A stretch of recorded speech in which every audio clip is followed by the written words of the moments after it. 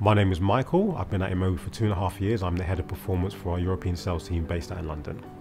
I like quite a few things about InMobi. Um, I think the first thing I really love is the fact that it's a really fun and hard work in place. So you get to have a really nice balance of putting in the hard work and seeing the results, but also being able to actually have fun. So let your hair down and just like have a good vibe within the office. InMobi stands by its values. So one of our values is all about giving people autonomy, freedom, and responsibility. So as a manager, I receive that freedom and autonomy from my manager and have the responsibility to carry out my tasks and my projects without being micromanaged. And I like to give that back to my people that work within my team. One of the things I really love about InMobi is that it gives you an opportunity to really grow as a person. So in my my current role, I've grown in terms of I've become a people manager.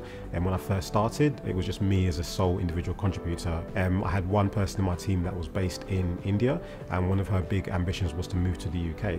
So as part of my team, she was given that opportunity. So she was able to move to the UK. In a place like InMobi, you have a great opportunity to grow into so many different areas, whether it's growing vertically or growing horizontally or even growing to go to a different country. There's so many opportunities. Company that's been around for about 15 years, but we still have that entrepreneurial kind of like startup mindset where you kind of like just get your hands dirty, you get involved in a lot of different stuff and just have a lot of fun while you're doing it. People have been here for an average time of five to seven years. And I think that speaks louder than anything that anyone can ever say. Because if you are a great company, people are going to stay and we take care of our employees and that's why they stay for such a long time.